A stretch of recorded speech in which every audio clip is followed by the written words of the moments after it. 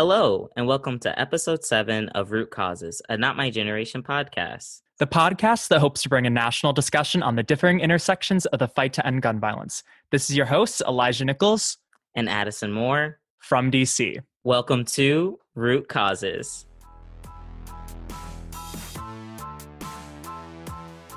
Today, we will be discussing class oppression in the movement with sociologist Betsy Leondar-Wright, a board member of the National Anti Classism Organization, Class Action, and the author of Missing Class Strengthening Social Movement Groups by Seeing Class Cultures. If you'd like to learn more about class action and the anti classism work that they do, please go to their website at www.classism.org. Well, welcome, Betsy. How are you doing today? Good. I'm delighted to be with you, Addison and Elijah. And we're happy to have you. So, why don't you go ahead and tell us a little bit about yourself and the work that you do? Sure, yeah. So um, I've been an activist for over 30 years, and I've had the great good, all different issues, but especially economic justice has been my thing. And I've had the great good fortune of getting to work with wonderful activists across the entire class spectrum of the United States.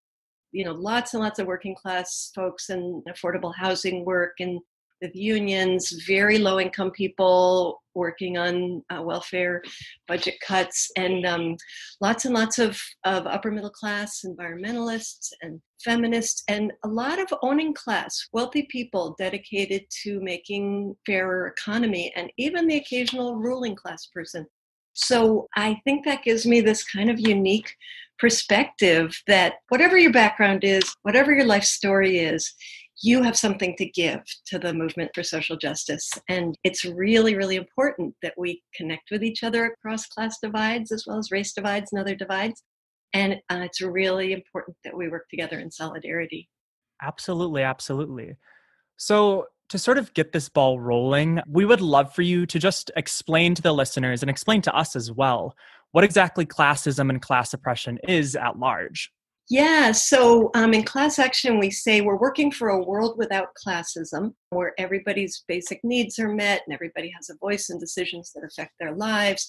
Everyone's treated with respect and dignity, and there's no systemic oppressions of any kind because we think all the other isms intersect with classism. And what we discover is that progressive activists and liberals and leftists and anarchists, we can pretty much all see classism out there in the economy.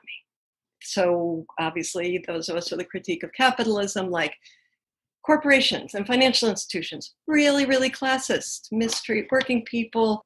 Rules are set up in government for for the benefit of elites and not for people who have to depend on working for a living. So that's almost the easy part in progressive worlds. And the really hard thing to face is that there's classism inside every institution, and there's classism inside every institution that has a mission of trying to make things equal and fair. And even in our beloved, very progressive membership organizations, the things we, we give our loyalty to as activists, you know, completely run through with classism.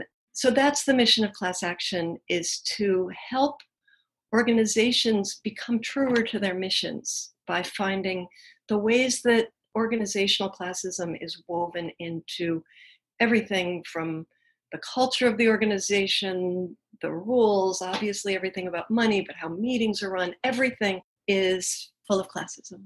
So, when we're talking about classism, when we're talking about the idea of class oppression, I think it'd be really interesting if you could define even like who's impacted by this classism in the most negative way, of course. Right, in the most negative way. So, um, obviously, people in persistent poverty are unfortunately quite large percentage of people in our country um, whose lives you know, miss on really basic needs. Lives are destroyed by classism and other oppressions. But, you know, actually, all of us are harmed by classism.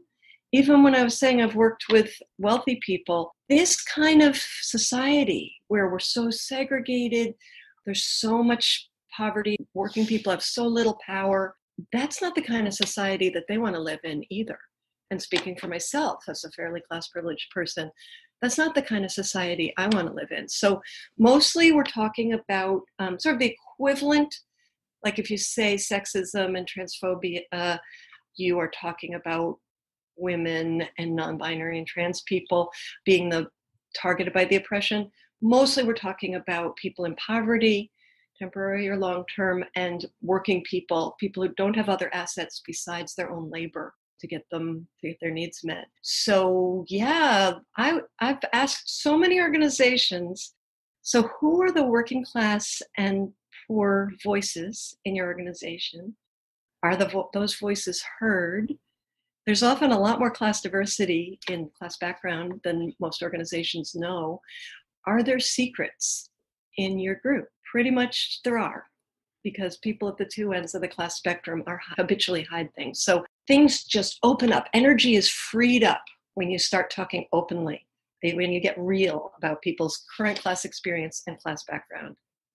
Oh, thank you for sharing. And I think um, thinking of like how people's labor is really all they have to fall on when thinking of folks who are low income or experiencing poverty. When in our work as like folks who do work in gun violence prevention we know that that's like a symptom of the way that low income folks are able to you know get the care that they need because those basic needs aren't getting met. And understanding that these systems that we have in place don't really necessarily support them being able to thrive. There's not really a culture or a uh, environment where people who are low income are supposed to be getting those basic needs met in the way that we currently run our society right now.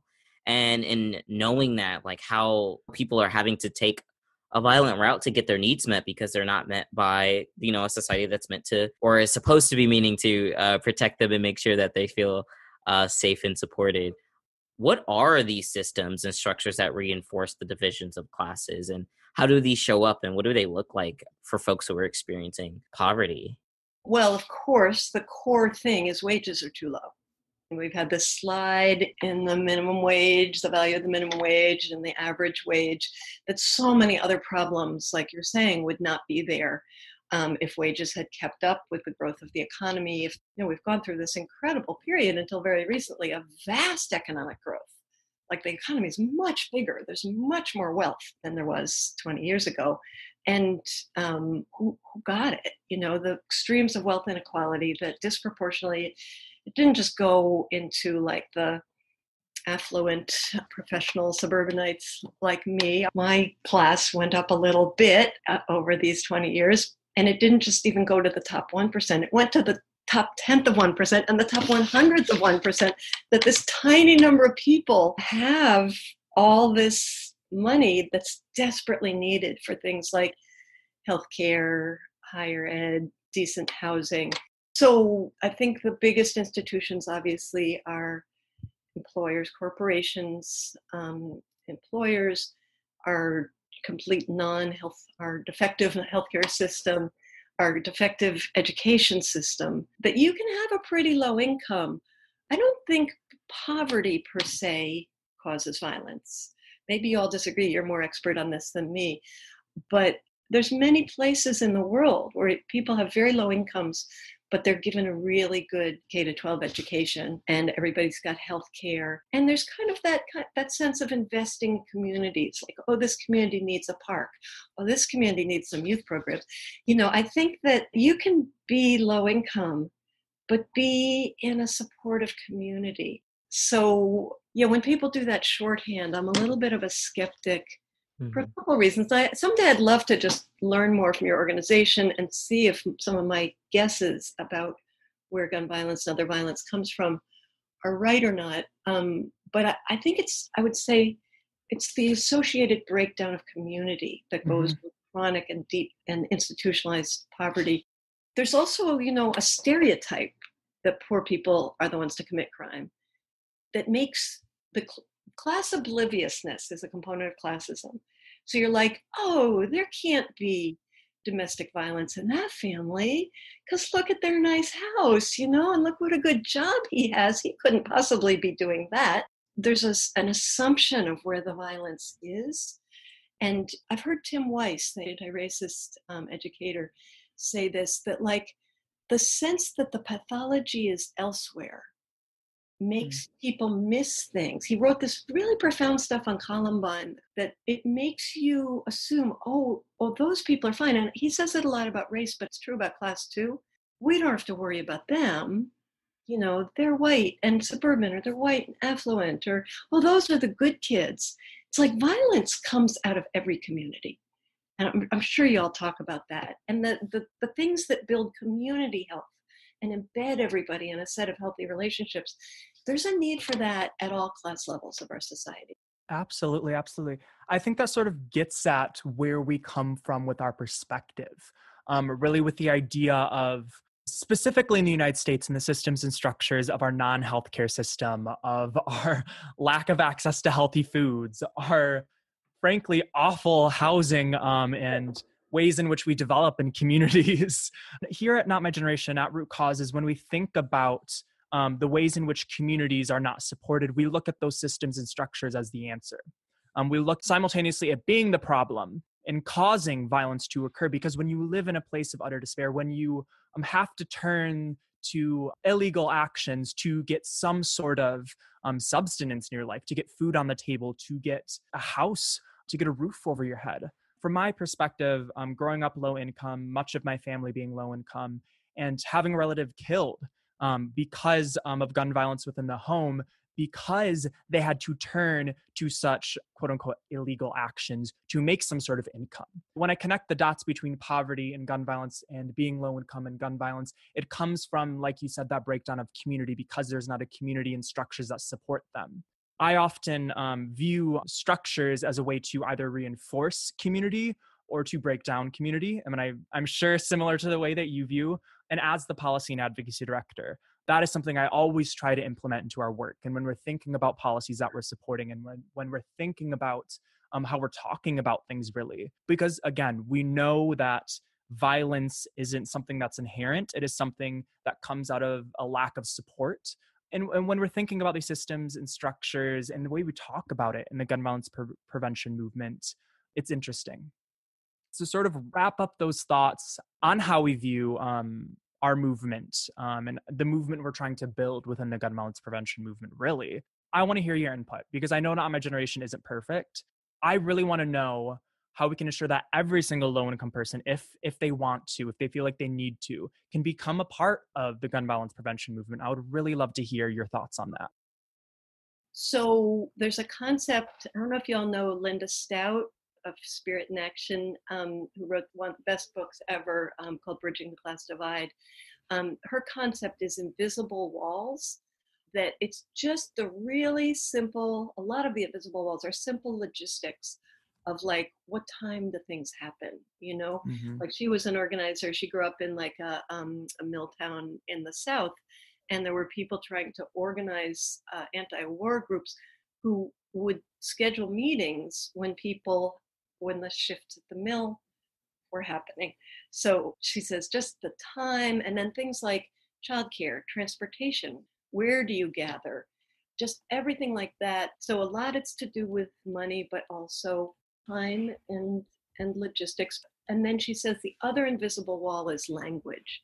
And this is something that i've written a lot about and class action has worked on a lot on that a lot of social justice efforts talk very abstractly talk in a, a code that is taught in colleges and um, people of every race and nationality get a little bit homogenized by college and how we speak and a lot of us speaking again as a as a white class privileged activist a lot of us get very very attached to a certain ideological word that just like wraps up our whole analysis. So for some people it's socialism for some people it's anarchism for some people it's you know sustainability. Now a lot of people are like you have to say white supremacy and you have to say uh, white privilege. And the overemphasis sometimes on these abstract terms and insisting that everybody else line up and say them. That's an invisible wall because there's a really big speech difference um, between working class people and college educated professional people which is how concrete or how abstract you talk.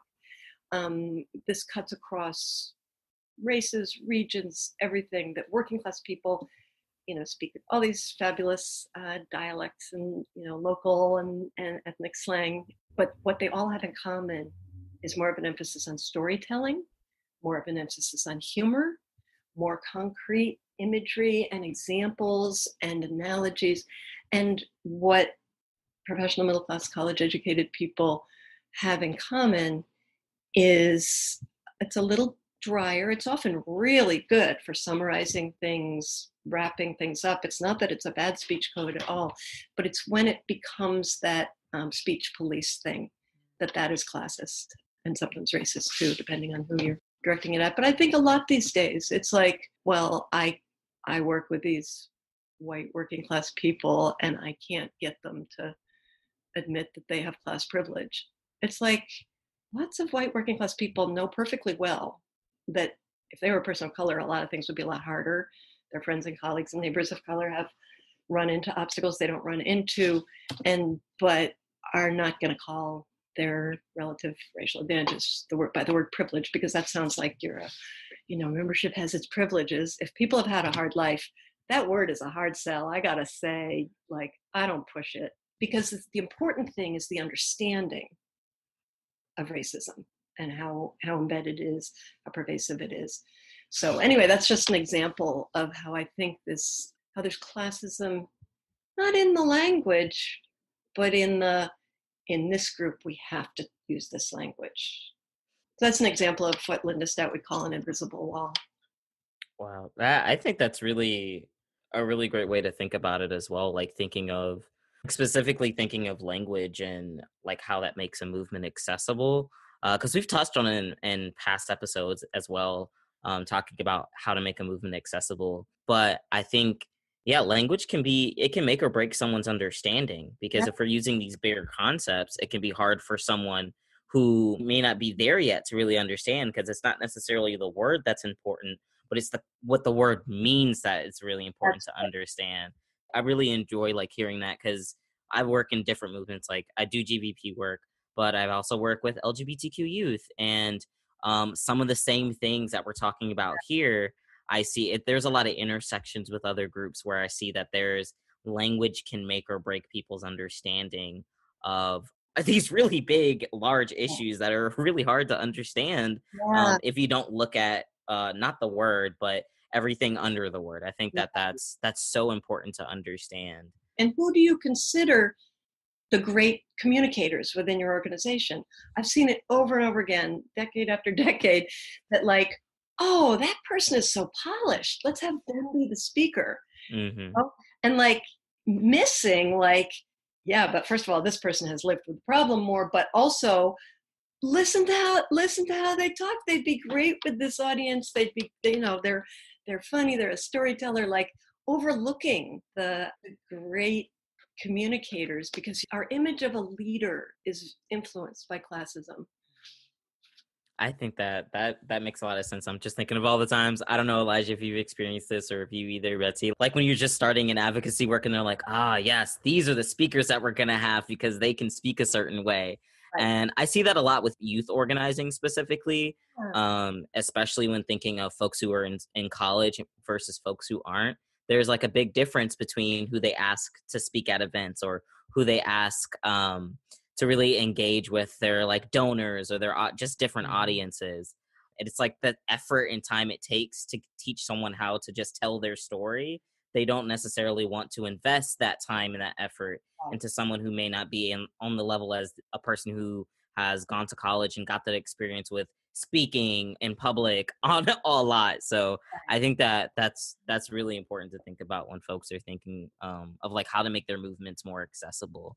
It's really uh, amazing like hearing the perspective you bring because it's also making me realize so many different intersections with a lot of different work that like when you're thinking of folks who are in poverty or low income folks uh, and trying to make a movement accessible it's just meeting them where they are mm-hmm. and making sure that you know whatever that means for them it's as true as it can be because thinking of young people it's like thinking of the times a day we have programs or thinking of the times uh, that we hold workshops or summits or thinking of the time of the school year like i know when we were planning our i know that like planning a summit where we're like ah oh, like we have to think of what folks are going to be interested in, Mm-hmm. um, what time of year works best for them. If they're in college, what does that mean financially for them getting to and from the summit? Like, I know we thought about that um, when we were planning. So I think that's like something you. folks look over that is very important to have people included. It's very big, even if it may not sound as big as it is.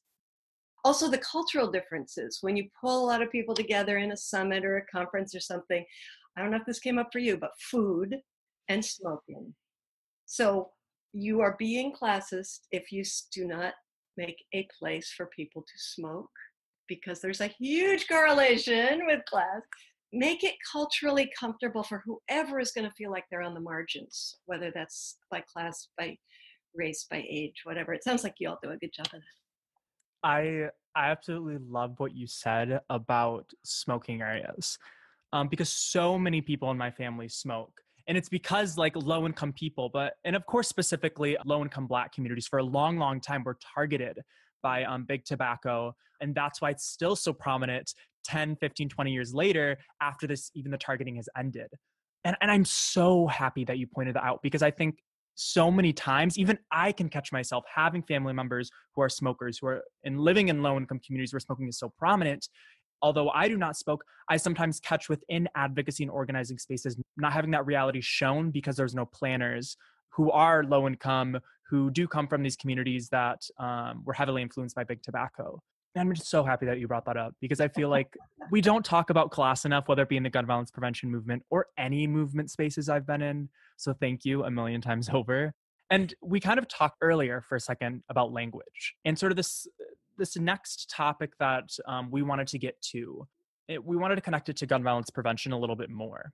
Um, so we often see terms like gun control or restrictions to gun access as the solution to gun violence and the gun violence epidemic at large. We know that not to be true here at Not My Generation, but it, it is often said to be the answer because of this oversaturation of white and often affluent organizers, um, wealthier folks, of course. I, really want to know from your experience in the work that you do, in what ways is policy impacted by the lack of inclusion of low income peoples, whether it be um, as representatives or just being a part of advocacy organizations? Yeah, well, so much of, of the institutions we see, whether it's criminal justice or education or healthcare or workplaces, the, the policies have been set by professional people talking to other professionals, professionals who are lobbyists, talking to professionals who are legislators, consulting uh, expertise from professional academics and researchers. And, you know, it's not just the backroom deals, but even what happens openly, like, hey, we had a public hearing and that's who came. So I've been a community organizer a bunch and had helped people directly affected by some problem to come together as a group, get that empowerment that we are talking about of like, you can tell your story and make an organized force, organized pressure. It takes a lot more low income or working class, unorganized working class. Sometimes unions obviously have managed to get some rapidly eroding clout, but um, but non-union member working class people and poor people, you have to have a lot more people power, putting on a lot more types of pressure to make as much headway as when just professional lobbyists or insiders work out legislation. Um, so that's what we need in this country. We need a lot more grassroots groups. Um, of course, I'm overjoyed at the uh, impact that the newest wave of Black Lives Matter movement is uh, is having. Things that we've just wanted for so long, and this is like my activist soul is like yeah, this is how it should work. Like everybody comes out, the directly affected people and the allies, and we don't just stand on the street corners and educate each other. We also we organize targeted campaigns and we pressure every decision-making body to put it into law, put it into policy, change the practices. I mean, this is I see this as as an anti-classist movement as well as an anti-racist movement because there's so many grassroots people involved. Um, I don't know if everybody else is thinking of it that way, but this is this is what it takes. You got to organize. You got to organize locally, as well as connect with each other and and um, do public messaging nationally, internationally. Everything that's been happening since the beginning of the Black Lives Matter movement in 2014, I'd say everything has been done right. So every other institution, just like police reform and the criminal justice system, is having these targeted, focused, effective campaigns, pressure campaigns on decision makers. That's what we need on, you know, this is this is horrific what's happening, what's about to happen with people becoming uninsured just as they're getting sick with the pandemic. The massive wave of evictions and foreclosures we're probably about to see unless government intervenes. Like the same thing we're seeing now with Black Lives Matter. We need that same kind of everybody on board, everybody organized on these other institutions as well. I'm just curious, how do we get to that point? Because I think sometimes, specifically when I do my community organizing efforts um, with the collective of our community, of course, how can we get everyone on board? I feel like that's always the big question no one has the answers to. I feel like even getting workers on board because of the way our economy is set up is difficult sometimes. What are some ways that you've seen it work? I've seen it work through the old fashioned methods of, you know, knocking on doors or one-on-one outreach drawing people having having things organized on a we used to call them affinity groups but now some people say pods. I hear some black lives matter people call them pods. Get small groups that are federated into bigger groups so everybody has a role. Lots and lots of training capacity building organization building. The really terrible pitfall right now is that people think they are getting involved by clicking something online and the, the leadership development that's needed, the trust and community building that's needed, the strategy, capacity to strategize in real time, it doesn't happen. The, the capacity to reach out to millions of people has never been so easy. I'm telling you, the pre-internet days, it was much harder. And I did organize national movements, but it was much harder than it is now to get people aware of the issue and to get people sort of uh, you know saying thumbs up yes i signed this thing and i put my name in i do some virtue signaling. There's a great book called uh, Twitter and Tear Gas that I'm unfortunately not going to be able to call the author's name, but that's uh, studied this internationally because all these authoritarian regimes are getting mass movements um, organized online, which is astonishing in great fear of, of repression to the point of just mass killing. Um, but they don't win their goals because the people haven't met each other they haven't really built trust in certain leaders. Um, they don't have the capacity to dialogue about strategy, and they haven't done the organizational develop, capacity development or the training or leadership development that's needed. So uh, they're getting squashed again around the world. So we got to be real aware of that here, especially with the younger generation where um, life is on, especially right now, life is online, right? Um, that no, you have to you have to do collective action, which you can do in a disconnected way if it's like a boycott or something. I bet your movement has has done a lot of really good boycotts of, of stores and things like that. But yeah, just don't think that you've done it if you've built a huge social media presence. Absolutely.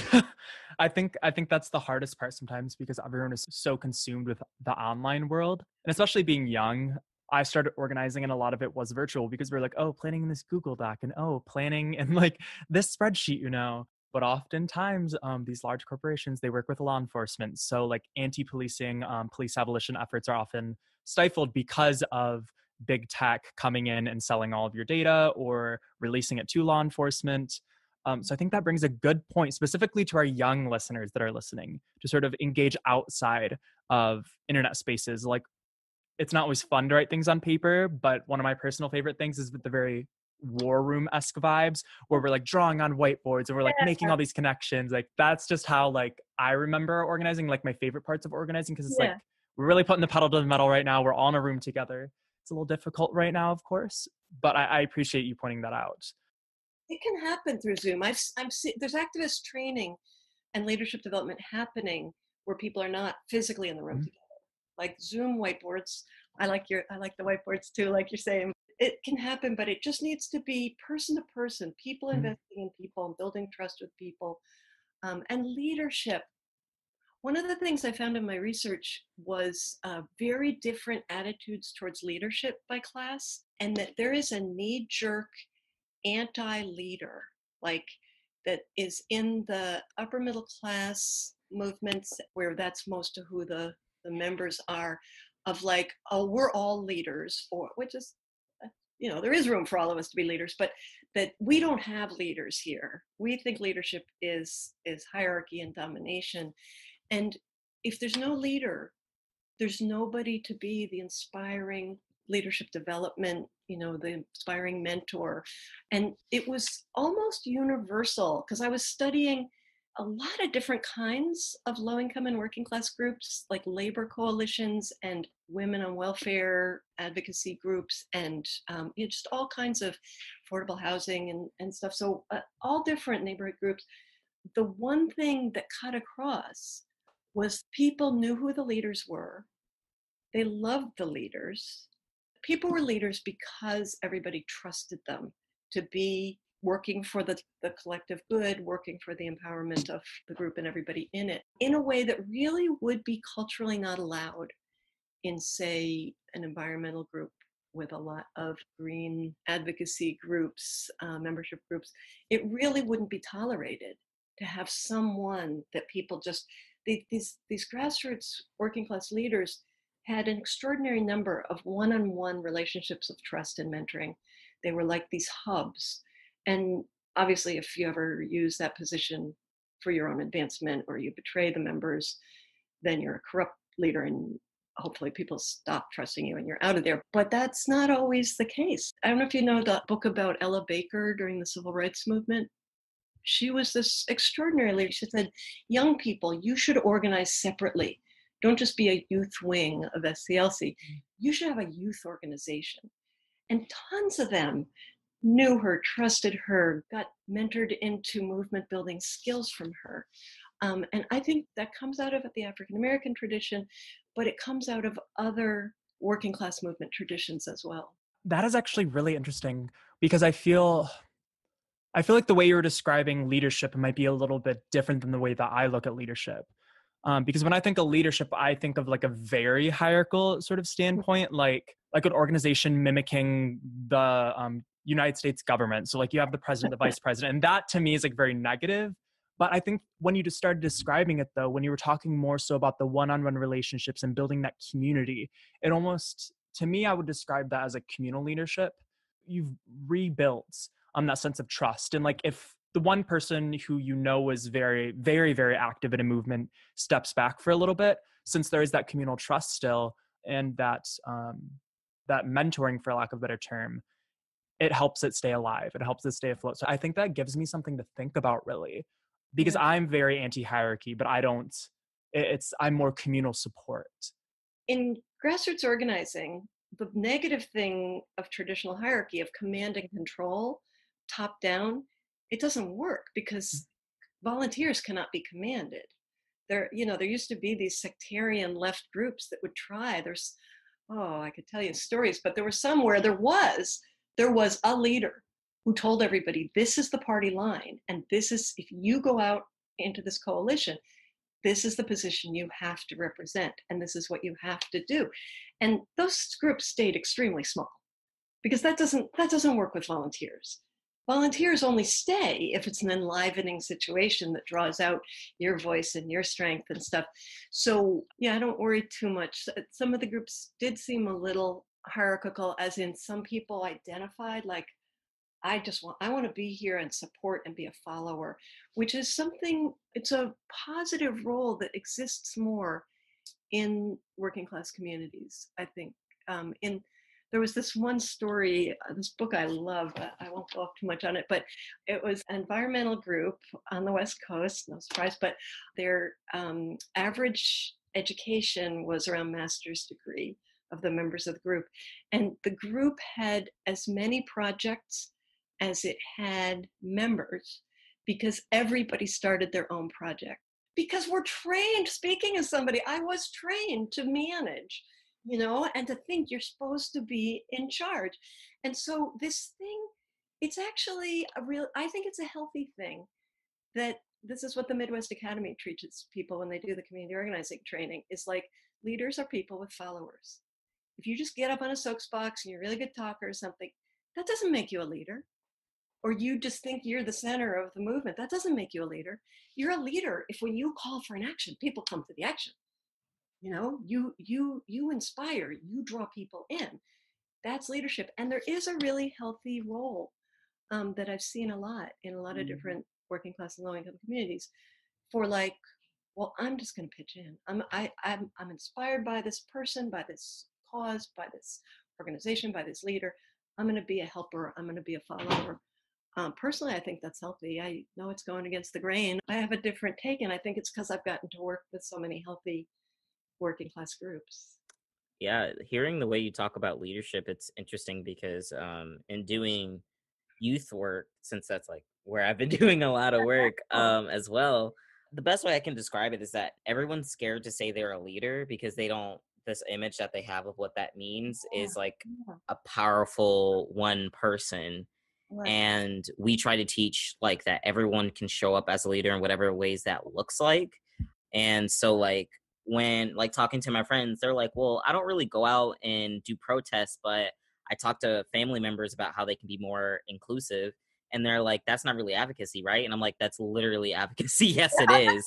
Uh, and it's just like people think that you have to commit so much time and effort and energy to a movement to be considered a leader when it's you understanding that this is an issue and you doing something to try and further that issue with whatever capacity you have is movement building it's leadership building.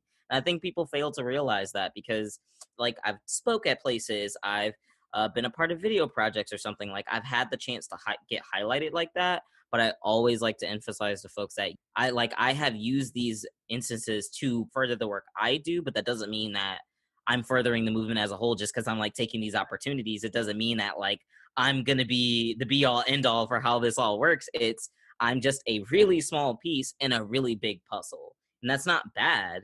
And I think um, when you like break down what leadership means and really show folks that there are different ways you can show up and it's still valuable, that's really important. Because like you might have that one person who can call to action, right?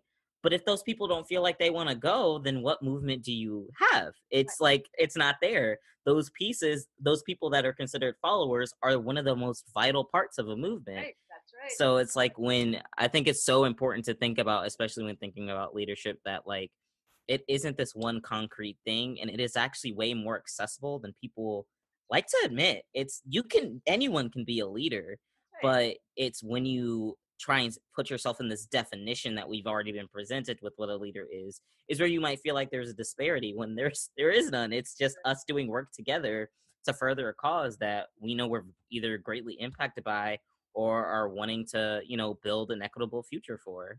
So the the essence of being a good community organizer is that person that you're t- you're affirming so you're doing that first step like wow you talk to your family members. Yes that's advocacy your family members might be the toughest ones to convince good for you.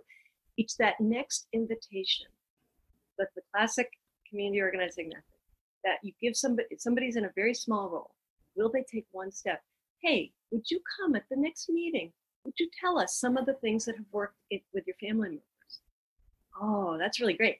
Um, so, um, okay, well, um, would you be willing to practice that with your neighbors as well? Or we're going out to do some public persuasion. You seem really persuasive. Would you come? Just like tiny roll, next roll, next roll. It's like a set of stairs. Like leadership development is like a set of stairs.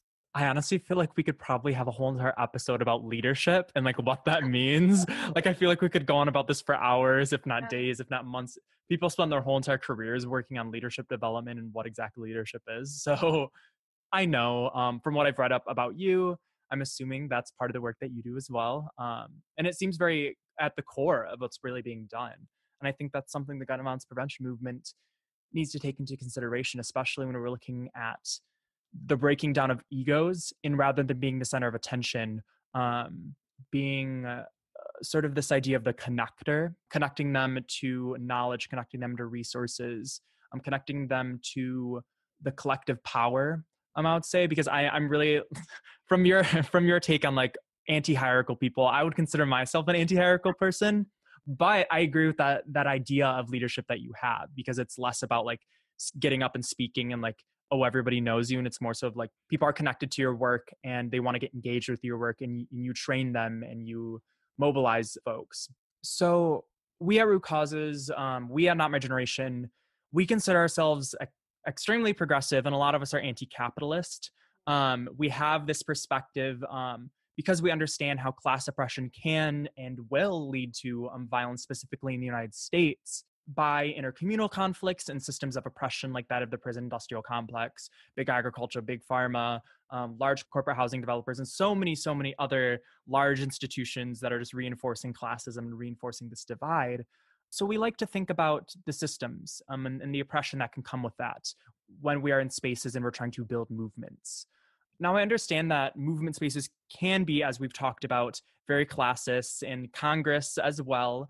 Um, and I, I really, we touched on this a little bit in episode, but where do you think that to sort of break down that divide, to really start to even out wealth inequality, to even out um, income inequality, so we don't have as much as that divide. Where do you think that can be done? Whether it be through small or larger structural changes? How can we make it a more equitable world so we don't even really have this United States view of poverty?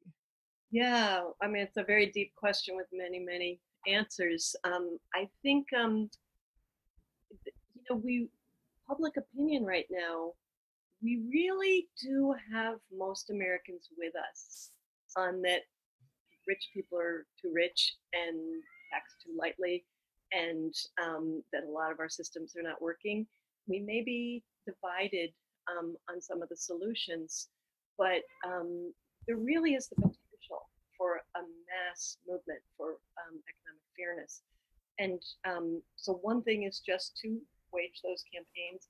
We we've um, had a long relationship. Class Action has had a long relationship with United for a Fair Economy, and also uh, the project at the Institute for Policy Studies. Do you know the website inequality.org? Mm-hmm. Um, that's we overlap with with them a lot, and um, uh, so spotlighting certain rule changes, like tax increases on wealthy people or big corporations that would free up money for the kinds of community investments that we, especially right need, need at this particular time. Um, so that's part of it. Is publicizing and drawing people in to frame that this is the core this is the core problem. And you don't have to be. We don't only want we don't want a movement that only has anti-capitalists in it mm-hmm. you know? Um, that you can be a pretty far across the political spectrum and still think something is really really wrong with this uh, economy dominated by the wealthy. So that's part of it. But the reason we a lot of us in class action, we um, that's our past is organizing for legislative change on economic justice issues of all kinds. And we gradually realized that the ways that we're divided from each other by class and the stereotypes, the classist stereotypes, and even the wedges that get driven between very poor people and working class and lower middle class people um, that that has got before we can have this mass movement that has got to be solved. So you have to tackle stereotypes of working class and poor people. Um, and um, there's a lot of leftists who sympathize with poor people but sort of think especially white working class people and lower middle class people are the problem. And that's just classism. That's just classism. You know white working class people are the biggest race class group in this country. They're incredibly ideologically diverse, tons of potential activists and potential allies there. So, setting up situations where people can get real about class, can share their class life stories, um, can say, well, wherever you're coming from, you can want a, a less classist country. That's sort of where class action keeps our focus. We do these wonderful workshops where um, people do get a chance to share things about their class of origin and really hear each other and value each other as human beings and then really tackle even the subtle and cultural kinds of classism within their their organizations and institutions so Um, yeah, so I think you gotta you gotta always think structural, and you gotta think interpersonal, cultural. It's always got to be both and. Just I think the anti-racist movement is really getting that right these days. Of like, got to tackle the laws, got to tackle the the consciousness and the implicit bias and the internalized racism. Same applies to class, but there's very few people doing that, um, except for this one organization, which is why I've stayed so closely affiliated with it for 15 years. I think it's really a unique niche. That was such a beautiful way to like wrap, wrap up such a wonderful conversation. Also. I know. I love talking to you guys. I wish I knew you and we were in the same town. And I know this is just it's been wonderful like listening uh to like just your experiences and really getting an understanding of like how the movement has worked from the past and up until now. I think that's really awesome to be able to get that history to a movement as well. Um, so I really do want to thank you for taking the time to speak with us and uh, yeah. really helping us understand like class oppression and the different ways it can intersect with gun violence and just understanding it as its own system as well. We really we really had a great conversation. I know i did. I i feel like i can speak for elijah this time uh, of that. It was a great conversation and we really hope to be able to work with you again soon thank you for listening to episode 7 of root causes a not my generation podcast where we discuss class oppression in the movement with betsy Leondar-Wright. Please join us next tuesday for an episode about voter suppression and gun violence. In solidarity, Elijah Nichols, Addison Moore, and Betsy Leondar-Wright.